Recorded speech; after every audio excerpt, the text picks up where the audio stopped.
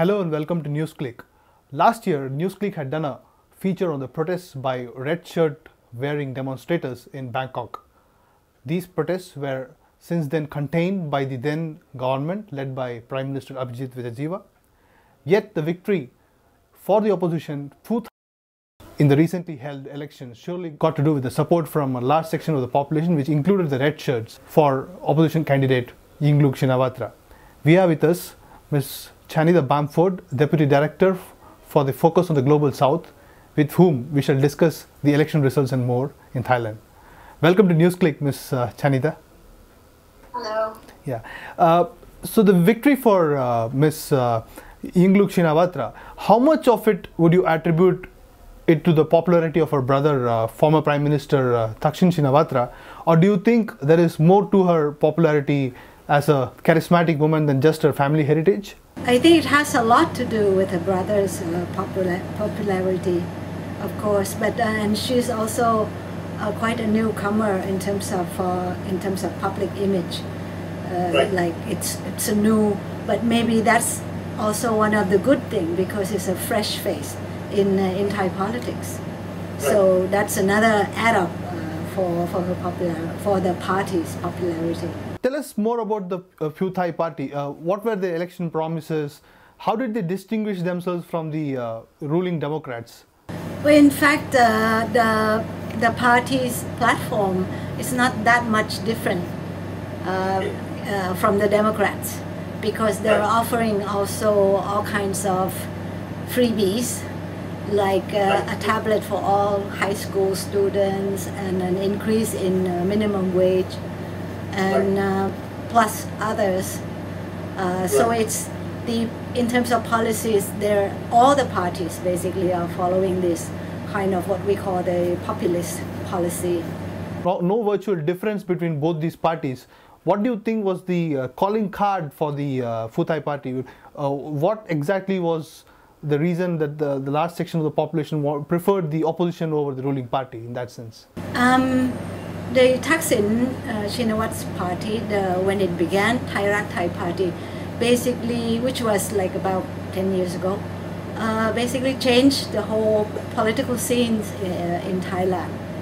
Earlier, before that, the um, it was the country was basically run by bureaucrats, government Right. officials, technocrats, right? Right. And the political parties were all only there just to kind of reap the benefit and you know create some kind of uh, uh, well, uh, make, making sure that the whole machine runs, uh, Right. uh, which basically is based on all the bureaucrats and technocrats.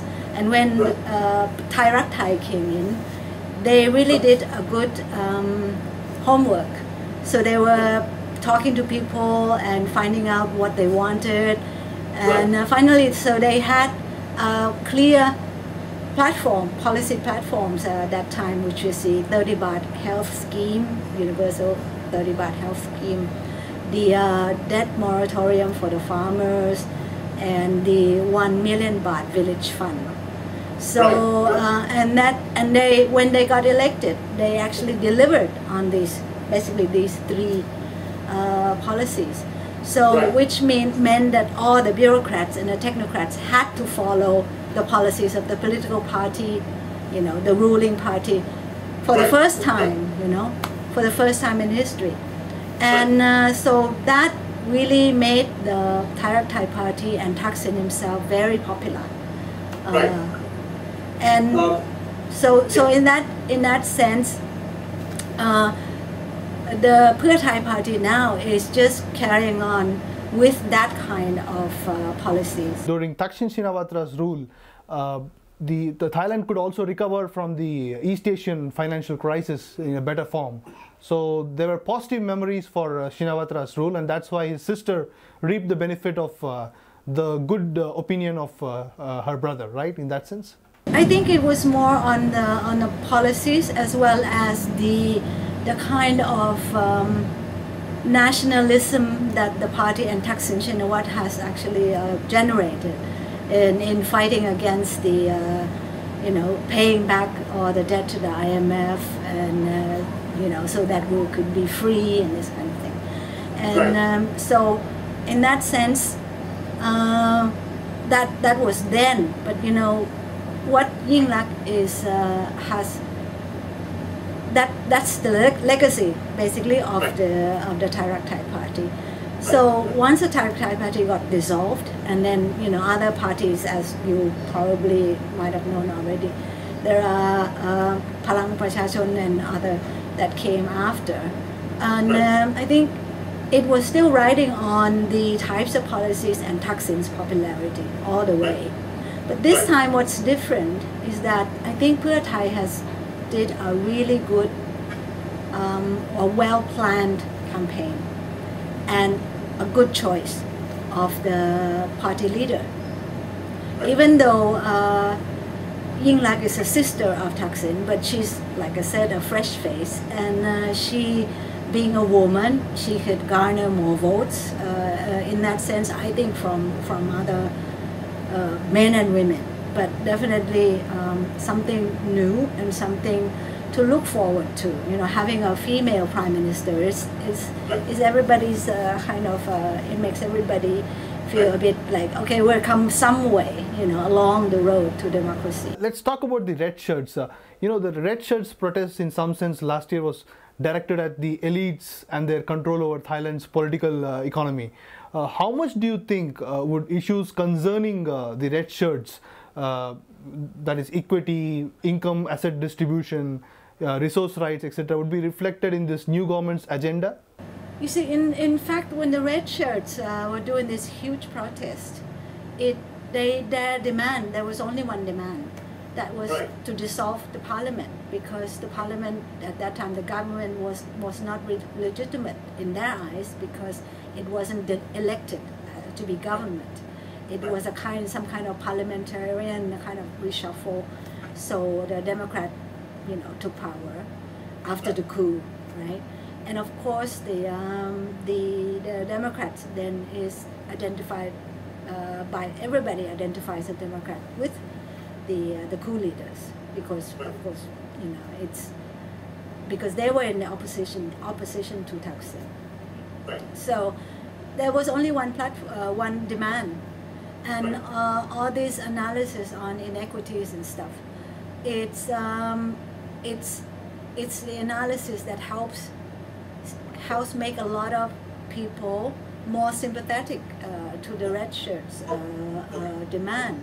Because they were looking for they were uh, pointing at double standards and you know, things that have to uh, things have to be changed. The, the double standards between how the governments treated the yellow shirts and then how the red shirts got treated, which is different. Uh, definitely, uh, the red shirts managed to get a larger coalition behind them by, uh, you know, at least posturing that uh, they were for, uh, you know, uh, equity and so on and so forth. Yes. Yeah.